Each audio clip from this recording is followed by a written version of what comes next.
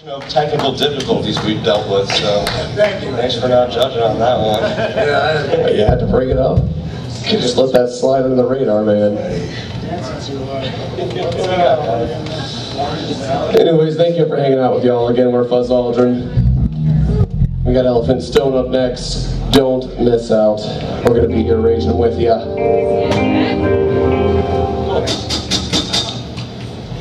We got a few more here.